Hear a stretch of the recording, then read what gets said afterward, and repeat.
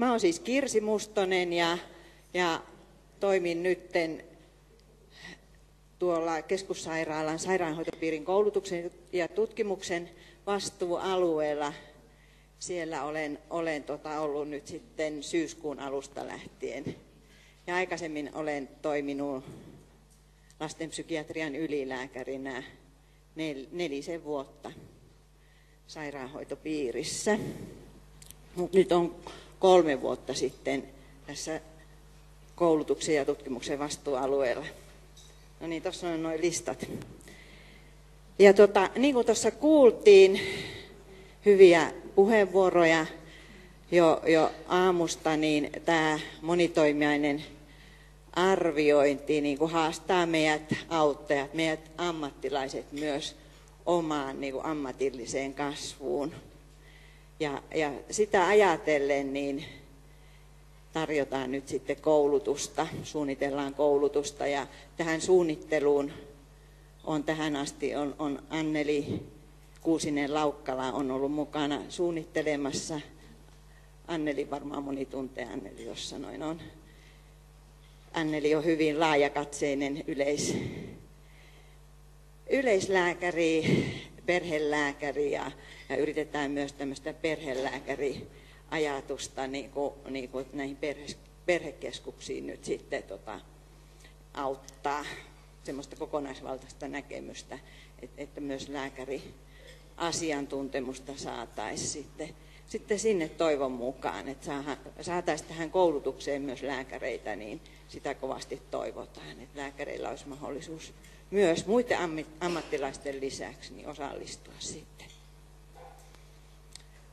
Ja tota, tässä on ollut koulutusta suunnittelemassa myös Aino Palokangas. Hän on Laukaasta varhaisen tuen asiantuntija ja me on paljon tätä mietitty Ainon kanssa ja ne ideat, mä, mähän osallistuin viime syksynä siihen, siihen työpajatyöskentelyyn, yhtä työpajaa vedin, vedin siellä ja, ja kiitos siitä, se oli hyvä prosessi ja, ja tota, sillä lailla antaa hyvän, hyvän jalustan ja, ja perustan tälle työlle, mitä me sitten maakunnassa yritetään edistää kaikki omalta osaltamme.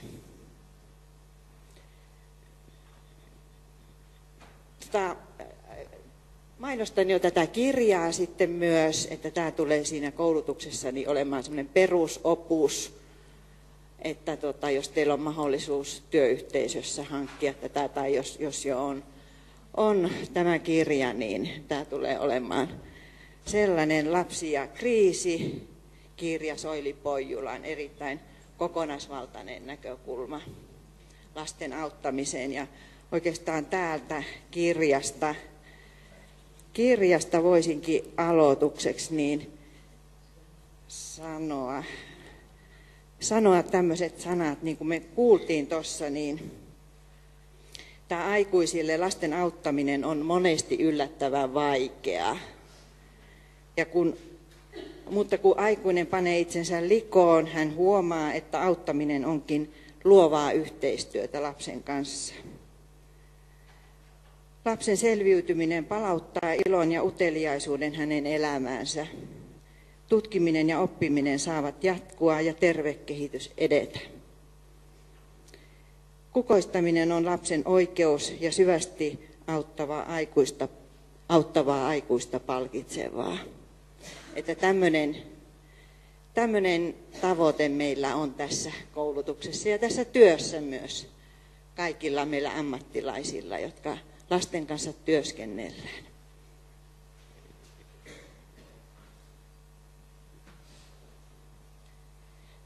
No, siitä lastenpsykiatrin näkökulmasta, niin reitit on monet, kun, kun sinne lastenpsykiatrin vastaanotolle sitten päädytään. Se ei ole mitenkään yhteneväistä tänä päivänä, niin kuin tuossa jo kuultiin. Monia arviointeja tehdään ja monet arvioinnit niin kuin kuultiin, niin vaikuttaa lapsen kokemuksen, vanhemman kokemuksen valossa niin turhilta. Ja sitä pettymystä me ollaan kuultu siellä lasten psykiatrialla.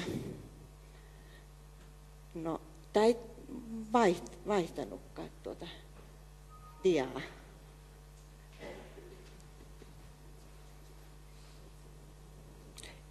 E, mutta tuota, se ei näytä tuolla. Tämäkin jää näkemättä. Syystä tai toisesta.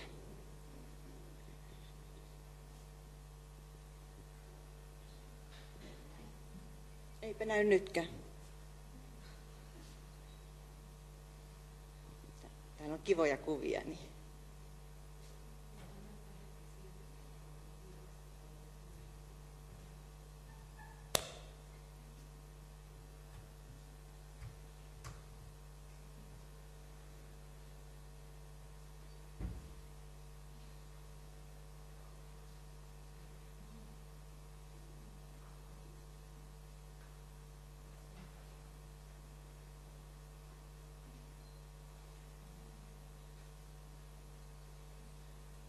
onko kuinka, moni, kuinka monelle tuttu tämä kirja ennestään?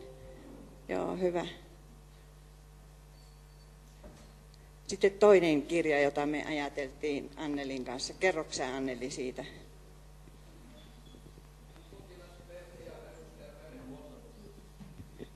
Potilasperhe ja perusterveydenhuolto 2009 julkaistu kirja, joka on yleislääkäreiden tenttikirjana erikoistumista tentissä, niin siinä on myöskin muille ammattilaisille hyvää asiaa moniammatillisesta yhteistyöstä ja niistä eri rooleista. Duodekim on sen julkaissut. Että löytyy Duodekimin sivuilta esimerkiksi. Monilla työpaikoilla varmasti se kirja esimerkiksi terveydenhuollon puolella on, koska sitä luetaan sitten tenttikirjana. Tutustukaa. Ja ehkä tuossa koulutuksessa myöskin ensi vuonna sitä sitten katsotaan joiltakin osin ainakin läpi. Joo, siihen kuuluu tämmöinen kirjallisuuspaketti. No, nämä oli tosiaan ne monet reitit sinne lasten psykiatrialle. Ja tästä, tästä vähän kanssa keskusteltiin tuossa myös, että, että tuota, miten, mitä se meidän ammattilaisten kieli aina on, että, että ja tuleeko puhe ylätasolta ja miten se tavoittaa sitten. Että, että, ja, niistä esteistä myös. Tuossa, tuossa jo tuli, että, että kun meillä on omat tarpeemme suojautua ja sitten meillä on omat selviytymiskeinomme, että me yritetään selvitä ja se on meille arkipäivää se, miten me, miten me on totuttu selviytymään erilaisista haasteista. Niin. Ja joskushan se selviytyminen voi koitua sitten ajan myötä niin kuin haitalliseksi tavaksi myös, että, että tuota, miten, miten, me, miten me ymmärretään näitä asioita. Ja, ja meillä kaikilla herää tunteita vuorovaikutustilanteissa. Että, että se on luonnollista ja tunteitahan tarvitaan, ne kaikki on tarpeellisia. Että, että tota, ja olen kyllä monesti kokenut tämän omassa työssä, että vain tutkimalla aidosti niitä omia vastatunteitaan, niin meillä, meillä tulee se oikea, meillä löytyy se oikea tapa auttaa niitä ihmisiä. Ja, ja tota, tästä me kuultiin myös tänä aamuna kokemusasiantuntijoilta, että, että silloin kun tulee ymmärretyksi, tunnetasolla, niin silloin ne auttajat oikeasti osaa auttaa. Ja kun auttajilla on saman äh, suuntainen se näkemys siitä, siitä sama, samat tunteet herää, niin silloin me osataan auttaa oikeasti ja kaikki koetaan olevamme turvassa. Mutta jos meillä on liikaa näitä esteitä, se kaikilta meiltä niin kuin, estää ajattelun. Me ei, me ei pystytä ajattelemaan oikein järkevästi, ei osata, osata mentalisoida silloin, kun, kun on voimakkaat tunteet pelissä. Ja etenkin jos siellä, niin, niin kuin tuossa kuultiin, on monta ihmistä siellä palaverissa.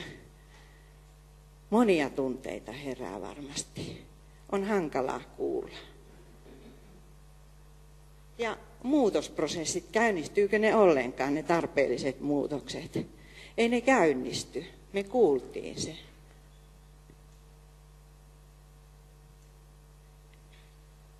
Ja lastenpsykiatria on tänä päivänä hyvin kuormittunut. lähetteitä tulee, tulee paljon, eri reittejä. Me ollaan luettu tästä lehdistä.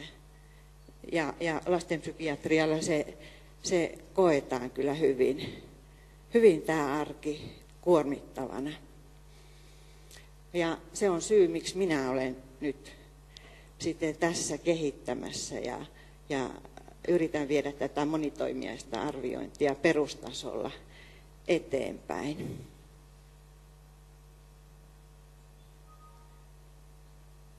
Kun se tavoite on muutos sinne arkeen, että arki sujuisi paremmin. Ja tästä yhteisöllisyydestä me on myös tässä näin jo tänään, tänään puhuttu, että meillä täytyy olla, täytyisi olla yhteinen näkemys siitä sen lapsen lähiverkostossa, että mikä on se apu, mitä apua tarvitaan. Ja tarvitsen sitten ammattilaisena paljon ymmärrystä siitä, että, että, mitä, että osaisin nähdä, että mitä siellä ilmikäyttäytymisen takana on.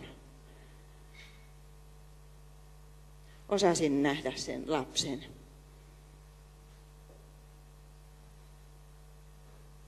Sitten tämmöinen kysymys, että mille luukulle haluaisin mennä sitten. Ja tämä kohtaamisen kysymys. Kuinka kohtaan ihmisiä heidän selviytymis- ja suojautumiskeinojensa kanssa. Tätä on paljon Aino ideoinut tätä diaa, eli, eli siellä syntyy meille ammattilaisillekin monia kysymyksiä, kun me kohdataan ihmisiä, jotka on hädässä. Osaanko, miten vanhemmat reagoi, kuka saa sanoa ja mitä saa sanoa, kuuluuko työnkuvaan, mitkä on vallan rakenteet, itsemääräämisoikeus, organisaatioiden väliset rajapinnat.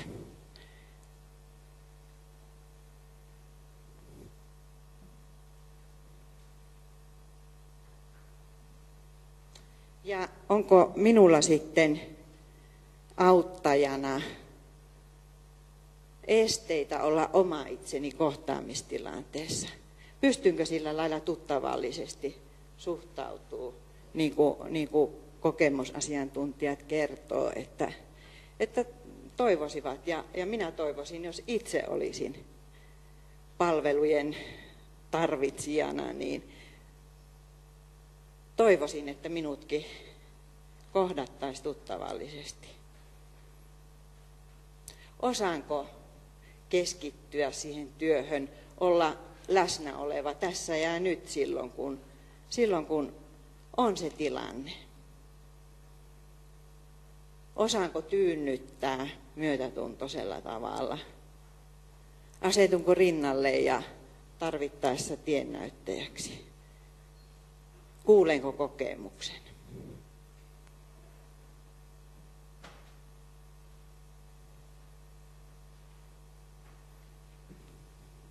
Kun siellä taustalla on, on ihminen, joka haluaisi tulla kuulluksi, nähdyksi ja hyväksytyksi omana itsenään. Niin tien näyttäjälläkin täytyy olla sitten tunne mukana ja ajatus.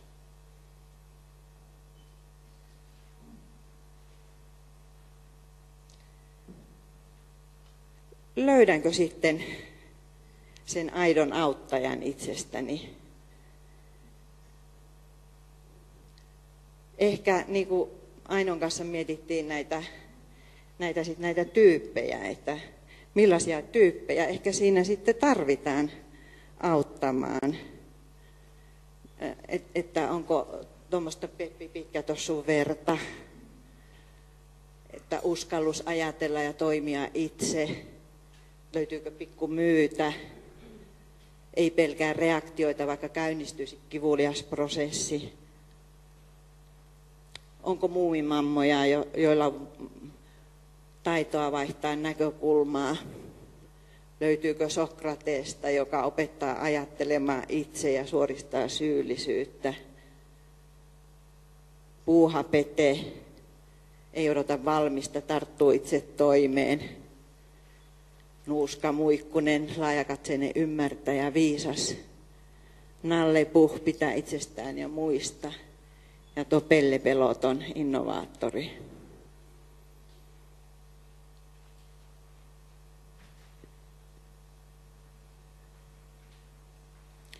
No tuota, tässä on vähän uutisointia.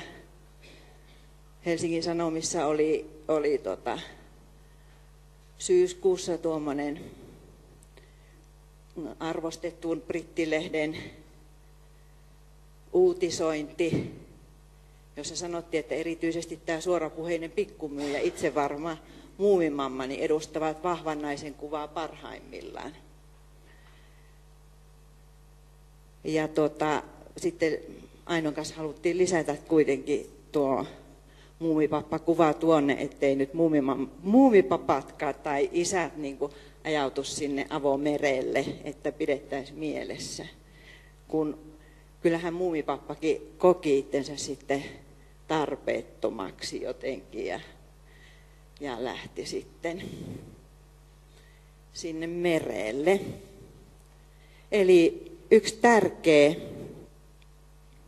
tärkeä tavoite tässä koulutusprosessissa on, on tämä vanhemmuus. Tämä on toinen keskeinen teema tässä näin, että miten me tuetaan vanhemmuutta.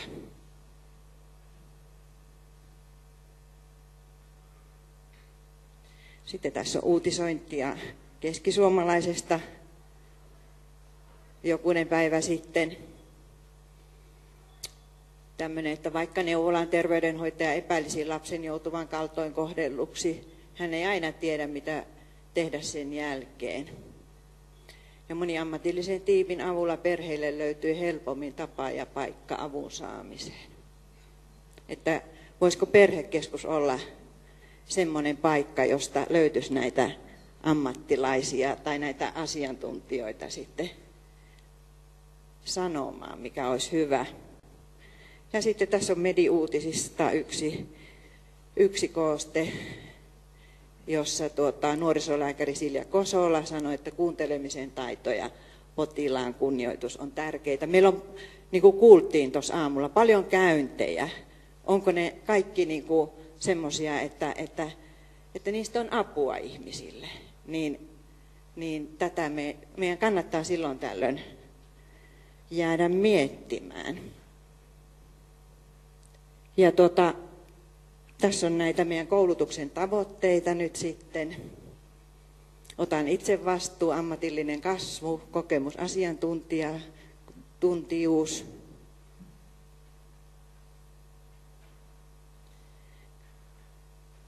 Ja tässä on ammatillisen kasvun ja asiantuntijoiden tekijät, joita me mietitään, että ruvetaanko mittailemaan vaikka siinä ennen ja jälkeen koulutusprosessin jotain näistä. Tuo itsereflektio on tärkeä ammatillisen kasvun mittareissa. Ja tässä on nämä koulutukset, joita, joita nyt sitten on suunniteltu. Vanhempien lasten ryhmävetäjien koulutus. Tähän koulutetaan ensin kokemusasiantuntijoita, toiseksi työpariksi ja kokemusasiantuntijakoulutusta niin kuin myös perhekeskuksen työn tueksi lähdetään kouluttamaan. Ehkä, ehkä syksyllä 2018 saadaan tämä koulutus käyntiin. Ja sitten tämä prosessikoulutus ja hoitajapalveluketjun uudistaminen. Meillä on infotilaisuudet, niistä teille on tullut kutsuja ja sitten ryhmävetäjien koulutus on tuossa. Ja tässä on sitten se prosessikoulutus. Siinä on yksi luentopäivä ja kaksi työpajapäivää. Ensin on arvioinnista ja sitten syksyllä 2018 on hoidosta. Ja tässä on vähän sisältöä. Ja hoito- ja palveluketjun uudistaminen sitten. Ja vielä viimeisenä tervetuloa tähän kehittäjäverkostoon ja kehittäjäverkoston työpajapäivä on sitten 7.12. Eli siellä kiertää se lista.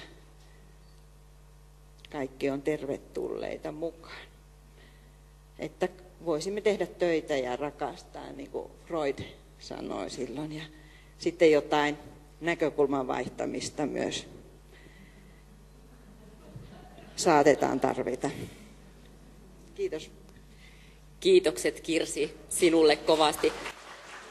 Nyt meillä ei kysymyksille ikävä kyllä tässä kohtaa aikaa ole, vaan päästetään Pia Lahtinen pesäpuusta lapsilähtöisen arvioinnin tukijalkojen äärelle